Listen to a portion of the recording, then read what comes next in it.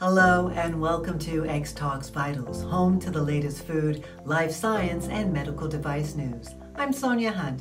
Food giant Nestle put its Palforzia peanut allergy treatment up for sale only two years after acquiring the company that developed it. Here's Sydney Perlmutter with the story. Thank you for the introduction, Sonia.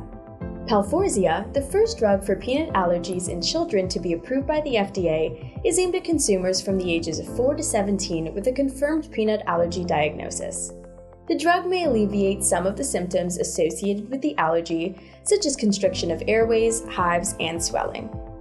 Unfortunately for Nestle, it's a niche market since less than 3% of the US suffers from peanut allergies and roughly 75% of them are over the age of 17. Another issue with Palforzia is it's time intensive compared to the traditional method of just avoiding peanuts.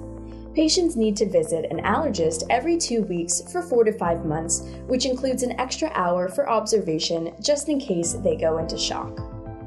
Nestle first invested in Palforzia's parent company, Aimmune, in 2016, eventually building a stake of more than 25%. In 2020, it purchased the rest of the company for 2.6 billion. However, Nestle's decision to sell Palforzia comes after slower than expected adoption by patients and healthcare professionals. Now, Nestle's Health Science division will focus more on its bread and butter of food supplements and vitamins. Back to you, Sonia.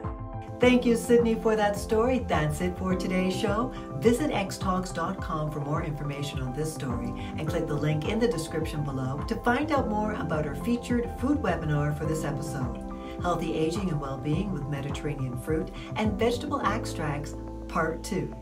Join us again for all your medical device, life science, and food industry news on xtalks.com.